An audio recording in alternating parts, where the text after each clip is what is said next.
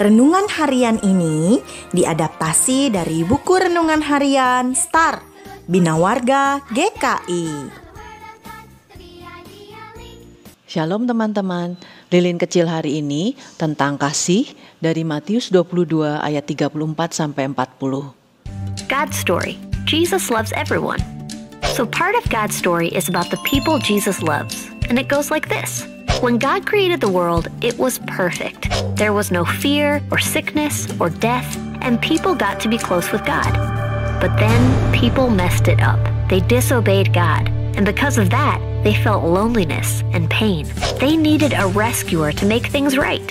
So God sent his only son, Jesus, to come to the world and show us what God is like. And a lot of people thought Jesus came for the most powerful and important people who seem like they're perfect, even though no one is perfect.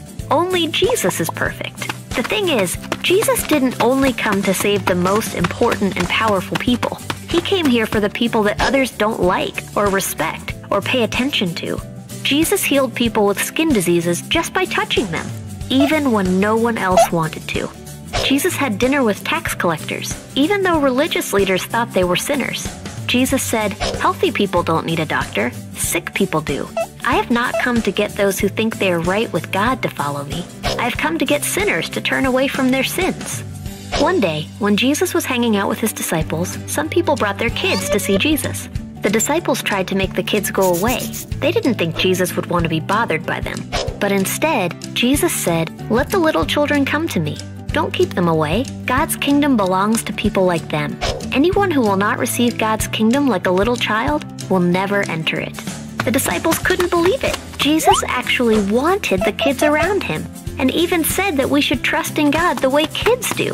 Another time, some rich people gave lots of money to the temple in a big, flashy way, while a poor widow who had almost nothing gave everything she had just two small coins.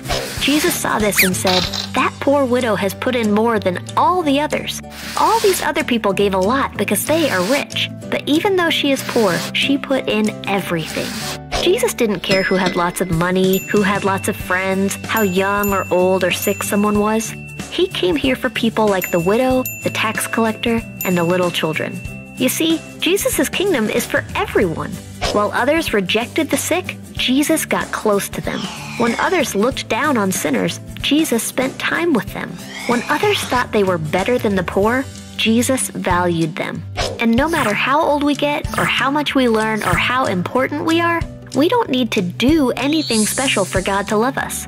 We are all imperfect. We all sin and disobey God, and we can never do enough things to deserve His love. God loves us freely. And because we can trust and depend on God, we can treat others the way Jesus did. So if you've ever felt invisible, unnoticed, or unwanted, Jesus loves you. If you feel like you don't fit in or that you're not good enough, Jesus loves you. If you've ever worried that you've done too many bad things or that you aren't as good as other people, Jesus loves you. You are the kind of person who Jesus wants to spend time with, and He loves you exactly the way you are. And that's a little bit about how Jesus loves everyone. Jadi, Tuhan Yesus sudah mengasihi kita terlebih dahulu.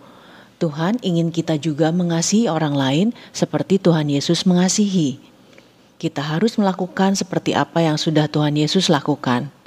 Ayat hafalan kita, Kasihilah Tuhan Allahmu dengan segenap hatimu dan dengan segenap jiwamu dan dengan segenap akal budimu. Kasihilah sesamamu manusia seperti dirimu sendiri. Matius 22 ayat 37 dan 39. Mari kita berdoa. Bapa di surga, mampukan kami untuk mengasihi Tuhan dan sesama kami seperti Tuhan telah mengasihi kami lebih dulu. Terima kasih ya Tuhan, dalam nama Tuhan Yesus kami berdoa. Amin. Saya mau sungguh-sungguh mengasihi Tuhan Yesus dan sesama. Sampai jumpa lagi teman-teman. Tuhan Yesus memberkati.